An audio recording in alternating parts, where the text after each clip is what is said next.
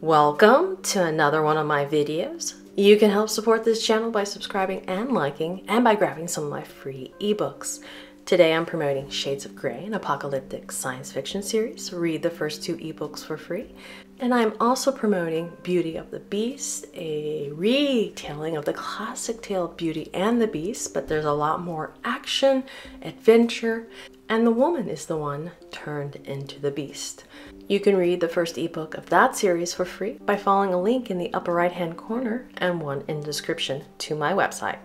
And now to the video. In today's video, I'm going to quickly show you how to get started on playing the Fallout 76 scoreboard. You might have heard people say you gotta earn score or the score thing pops out while you're playing normally in Fallout 76 and you might not know that there is actually a game board that goes along with the gameplay. So let me go ahead and get started and show you where this is located. The Fallout 76 scoreboard is actually a little game board that you can play out of the game and you move your piece around this board by earning score while you're in the game. And there are like little assignments, little quests that you can earn these points from. There are daily quests or challenges and weekly challenges and you earn points, less points for the daily and more points for the weekly. Now I'll show you where these daily and weekly challenges are located so that you can go in each day and see what you can do to earn the score. So let's go ahead and check it out. I'm on the PS4, so it might look slightly different if you're on the Xbox or the PC. And before I forget, don't forget to like this video if it was helpful and leave a comment if you have any questions or just really like the video.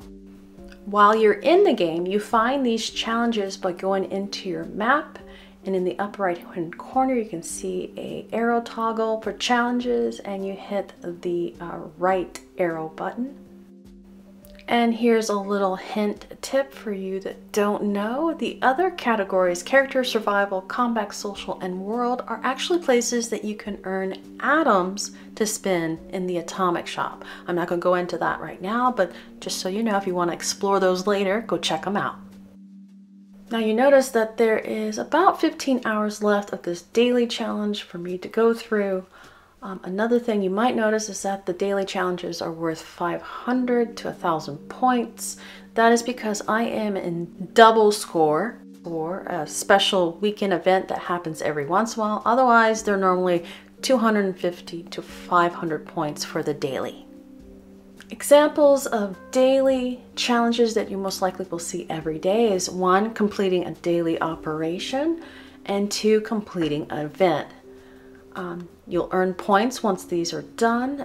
A little word thing in the bottom of your screen will pop up and let you know that you accomplished this and that you earned points. And a meter bar will pop up letting you know how far in the progression you are on the meter bar. And once you fill the meter bar, you will open up a reward. I'll show you later how you can grab the rewards because they're not automatic. You actually have to grab them from the scoreboard. And now let's go ahead and take a look at the weekly. Now the weekly challenges will never have a bonus on them, but they're always worth about a thousand points or more. So they're usually always completing five daily operations within the seven day challenge. Now let me tell you that the challenges start Tuesday 12 noon Eastern Standard Time and run, of course, till about the next Tuesday noon Eastern Standard Time. That's for the weekly. Daily, of course, will start from noon to noon Eastern Standard Time. And they actually show you the clock on the daily that kind of help you out too, along with the weekly. And here are a couple helpful hints right off the bat. Now, if you notice, like I said, daily operation and events are always part of the weekly and the daily. So when you come in to do the daily, always focus on, if you don't have a lot of time to spend, you're not on Fallout every day, focus on those that will help you in the weekly. So do the event, that way you score the daily and help towards your weekly do a daily operation. That way you'll score for that daily and work towards your daily operation. Level up is another one um, that usually is always there. And at the very bottom, you'll, you'll notice a repeatable under rank 100 gain. It's once you actually earn those experience points, you'll just score a hundred of the um, score to go towards the scoreboard, and that one never goes away. So even if you complete all the daily and the weekly, that one will always be there so that you can continue to earn score. It's repeatable. And now let me show you where to find the scoreboard while you're in the game.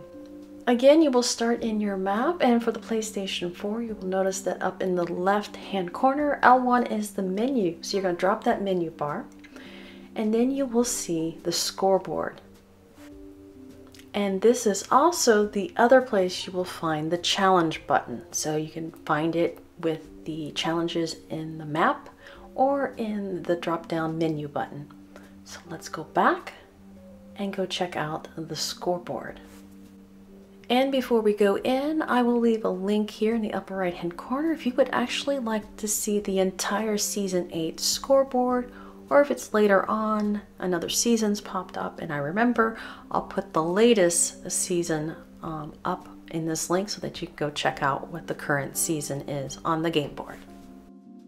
For now, here is a quick look at the Season 8 game board. Vault-Tec Better Life Underground is the current board. As you can see, it looks like a normal game board with little spaces for you to move around. And I will move up a little bit and actually unlock some of these. Um, but as I said, if you want to see more detail, I actually go through the entire board and show you space by space what these items are in that link I mentioned earlier. And here is the actual first starter, just so that you can kind of get an idea icon, the exercise bike, lunch boxes with some of them, but I'm not going to go into too much of that because I don't want to make this video too long. But here I'm able to claim the legendary modules. I'll get three. And my next space will be atomics along with basic repair kits times three. I would also like to point out that that little yellow thing off to the side of each square, every once in a while it pops up that says first, is actually only for the Fallout First subscribers. So you cannot earn those extra little Fallout First rewards unless you are subscribed at the time. And also here is another tip. I'm not going to grab the basic repair kit with my current character. My current character has too many of them and can't use them all. So I'm going to wait and actually later on go into the menu before I start a new game, switch characters, and then go into the game board, claim it, go back to the character slot and switch it back to the character I'm currently playing. That way my smaller, less level player will have some nice little repair kits to use later on whenever she gets a chance to play. And here's an example of me earning score for completing the event Scorched Earth. You'll notice in the up lower left hand corner that I scored challenge complete, completed an event. Now I slowed this way down so that you can actually see it. It pops up faster than this. You might not even notice. So the best thing to do is, of course, just go into your challenge section and see if you've completed any challenges and what challenges daily and weekly that you still have to complete. And now let me recap some of those important tips and hints. Uh, focus on what you can do in the daily challenges that will help you out in the weekly challenges if you're not able to play Fallout 76 every day. Also, in the daily challenges, try to do the ones that are very easy and quick to do, like mod or cook something if you already have the supplies. Go ahead and do them. That way you got that many points and it didn't take you that long. Well, I hope this video was helpful, informational, and somewhat entertaining. Don't forget to like and share if it was. And if you have any questions or I didn't cover something in this guide, go ahead and throw them in the comments and I'll do my best to answer them. Until next time.